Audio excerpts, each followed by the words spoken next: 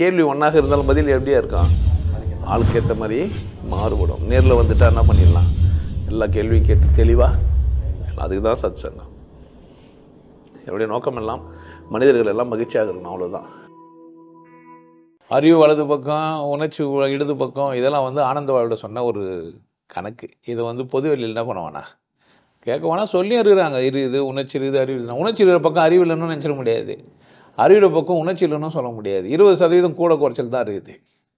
சமயத்தில் முழுக்க முழுக்க அறிவு இருக்கிற பக்கம் உணர்ச்சி கூட வந்துடும் ஏன்னா அறிவே உணர்ச்சி சிறந்ததுன்னு சொல்லிட்டு இருக்கோம் இப்போ நல்லா நடிக்கிறான்ல ஆயிரம் மாதிரிலாம் நடிப்பாங்க. சில பேர்லாம் அந்த சில மதவாதிகள்லாம் பார்த்தீங்கன்னா மைக்கெலாம் வச்சு இந்த ஊரில் இருக்கிறவங்கலாம் பணக்காரன் ஆகணும் எக்ஸாம் எழுதுற குழந்தைங்கள்லாம் படிக்கணும் நாட்டில் ஒரே ஆழையும் இருக்கக்கூடாது. இது மாதிரிலாம் பண்ணி பார்த்துருக்கீங்களா அப்படியே கண்ணீர் மல்கி அப்படியே பார்ப்பீங்களா என்ன?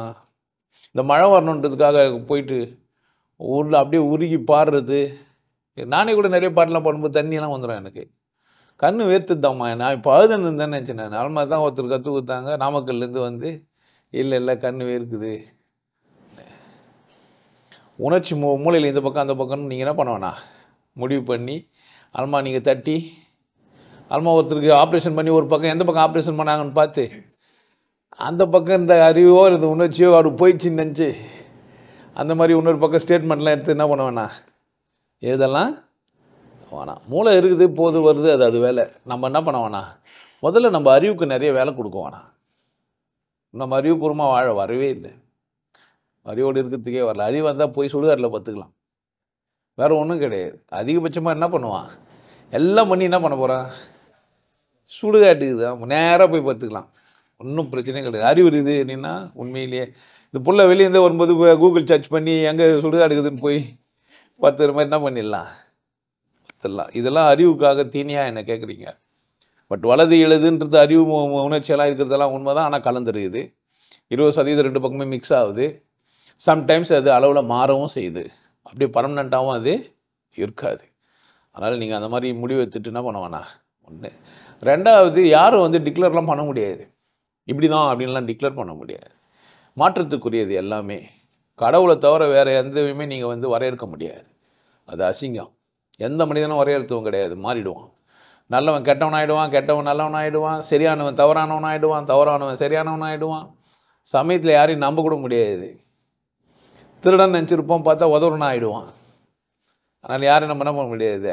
மனிதன் ரொம்ப ஆபத்தானவன் எப்போனா மாறிடுவான். அதனால் இந்த பக்கம் அந்த பக்கம் ஃபிக்ஸ் பண்ணி வச்சுன்னு இந்த பக்கம் எதனா ஒரு மேக்னெட்டிக் ஃபீல்டை உருவாக்கி உணர்ச்சி அதிகமாக்கலாம்.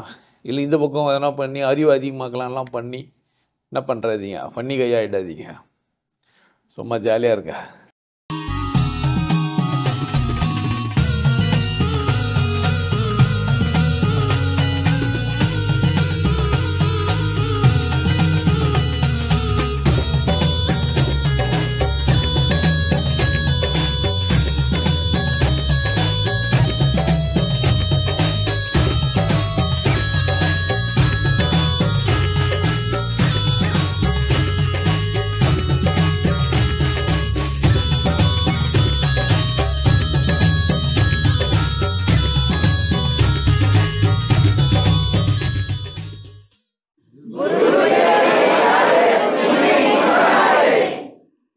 நல்லா இருங்க. சிறப்பாக இருங்க. கொண்டாட்டமாக இருங்க.